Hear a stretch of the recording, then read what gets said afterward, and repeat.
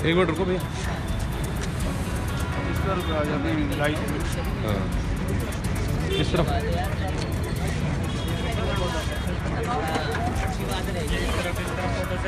हैं हाँ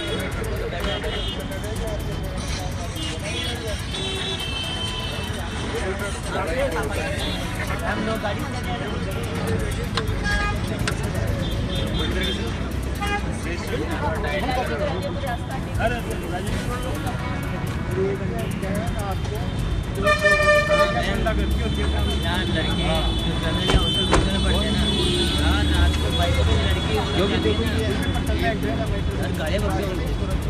मेरा फ्लोर का लाइफ देखा हुआ मामला है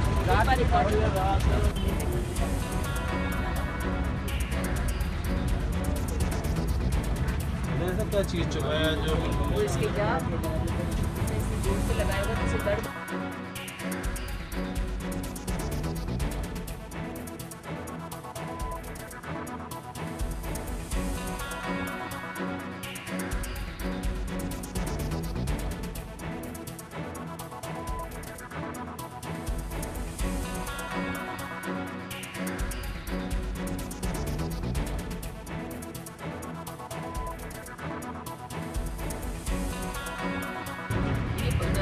पौने सात बजे आठ वर्ष मासूम बच्ची दूध लेने के लिए अपने घर से निकली। वहाँ एक व्यक्ति मोटरसाइकिल सवार आया, उससे स्कूल का एड्रेस पूछा। उसने बता भी दिया, उसके बावजूद जबरन उसको अगवा करने का प्रयास किया, मोटरसाइकिल पर बिठाया और गली में करके चला गया।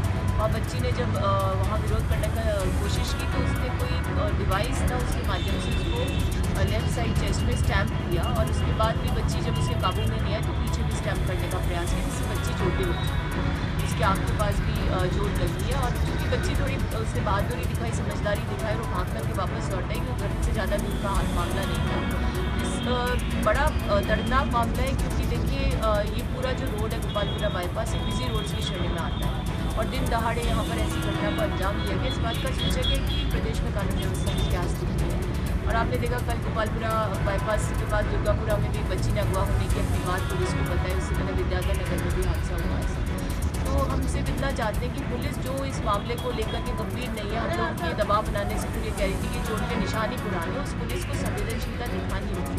कोई भी सभ्य परिवार का व्यक्ति अपनी बच्ची के साथ किसी घटनाक्रम को किसी प्रकार से बनाकर पेश नहीं करती तो एक ऐसा हादसा है दुर्भाग्यपूर्ण, जिसकी जाँच त्वरित होनी चाहिए और हम अल्टीमेटम भी दे रहे हैं कि यदि चौबीस घंटे में उस अपराधी को नहीं पकड़ा गया। बड़ा आंदोलन खड़ा करेंगे। क्योंकि ये बात मासूम बच्चों की सुरक्षा से जुड़ी हुई है, जिसको लेकर राजस्थान बहुत ज़्यादा कुख्यात हो चुका है। हमने देखा एन के डेटा में ट्रैफिकिंग जो है, बच्चों के दूसरे नंबर पर है।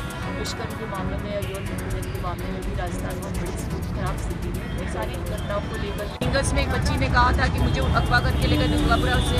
ये सारी घटना इस बात की सूचक है कि प्रदेश की सरकार और पुलिस ने बच्चियों और महिलाओं और जो सारे वल्नरेबल सेक्शन